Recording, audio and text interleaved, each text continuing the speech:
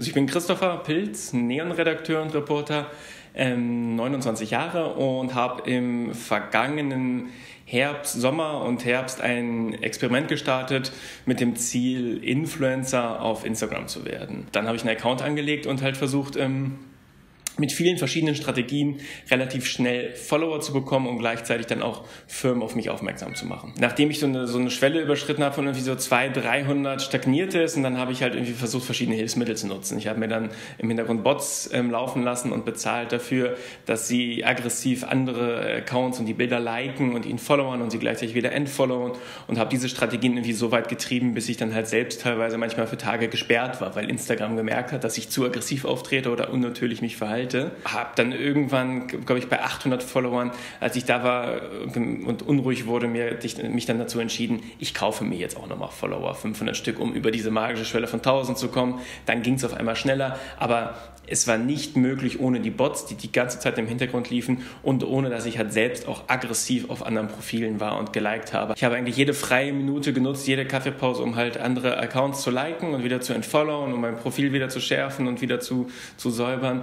Ähm, dann musste ich ja jeden Tag auch posten, mindestens zwei Bilder. Allein das hat irgendwie mich gestresst. Dann habe ich gemerkt, es ist ein verregneter Tag in Hamburg, es ist heute einfach nichts los, mein Leben ist heute einfach langweilig. Und dann bin ich halt nochmal losgegangen. Wo ist noch ein cooles Café? Wo kann ich schnell noch Bilder machen? Manchmal war ich ganze Wochenenden nur unterwegs, um halt ganz viele Bilder am Wochenende zu machen, dass ich Stoff habe für die Woche darunter. Ich glaube, das möchte jeder. Jeder möchte ein schönes Leben haben, jeder möchte einfach tolles Essen haben, an tolle Orte reisen.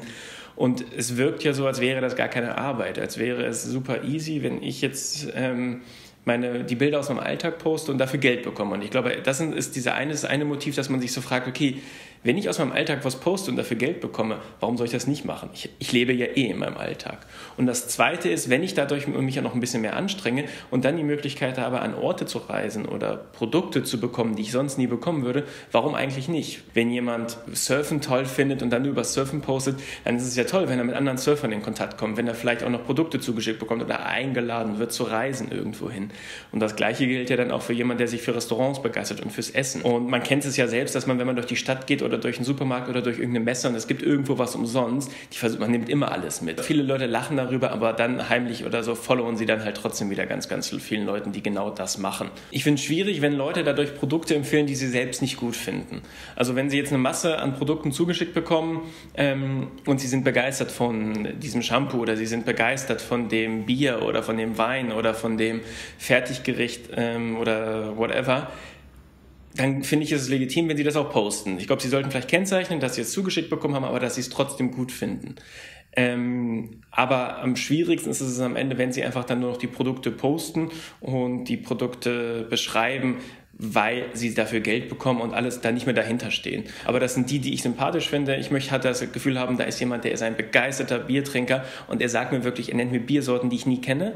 Für die kriegt er kein Geld, für manche kriegt er vielleicht Geld und da möchte ich aber auch ganz klar wissen, in welchen Bereichen kriegt er das Geld und wann nicht.